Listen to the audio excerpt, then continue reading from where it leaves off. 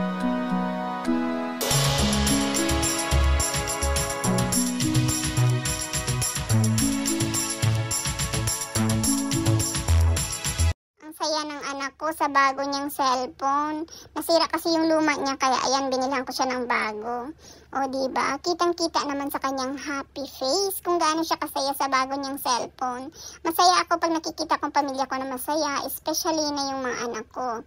Yung kinuha ko pala sa kanyang cellphone ay may free na AirPods na. O ayan, in-unboxing niya at ipinakita niya na sa akin ang kanyang bagong phone at AirPods. Busy-busy si Junakis ko sa kanyang bagong cellphone. Kinakalikot niya. O ayan, may pinapakita pa sa akin, di ko alam ano yun. At may nag-pop up pa sa aking YT channel habang kausap ko siya. Ayan, ay lagayan ata yan ng memory card or ng SIM card. Kasi ilalagay daw niya sa bago niyang phone. Hinahanap niya, wala siyang mahanap na paglalagyan. Yung memory card, kinuha niya dyan sa tablet. Yung tablet nga pala kay Papa yan, binigay ko sa kanya para may mapanooran siya pag mag-YouTube.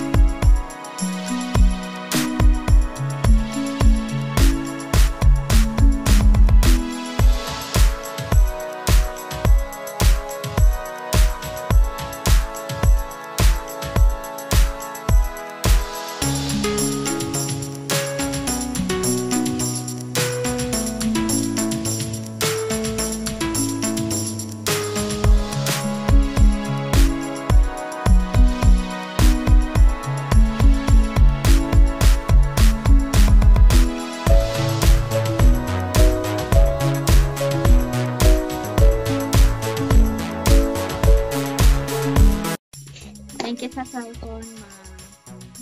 Ang bago sa English ang Pokemon. Thank you. I love you. I miss you. Mwah.